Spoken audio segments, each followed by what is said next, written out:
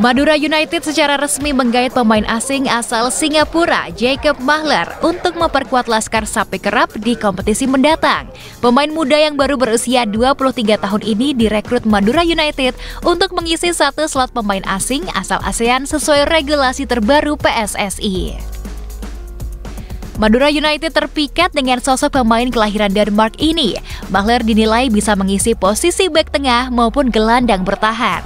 Pemain yang pernah perkuat timnas Singapura baik timnas senior maupun U23 ini didatangkan Madura United dari Young Lions FC yang bermain di kompetisi Liga Utama Singapura. Menurut manajer Madura United, Umar Mahdin, perekrutan Mahler ini sesuai rekomendasi dari sosok seorang pelatih di Singapura.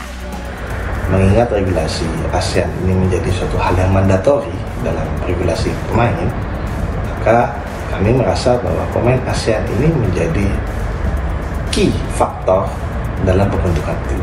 Oleh karenanya, kami berharap dengan adanya pemain ASEAN ini, ini ya tim akan lebih baik.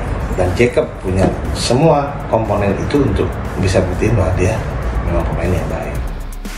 Pemain dengan postur 184 cm ini menjadi pemain asing keempat yang saat ini sudah dimiliki Madura United.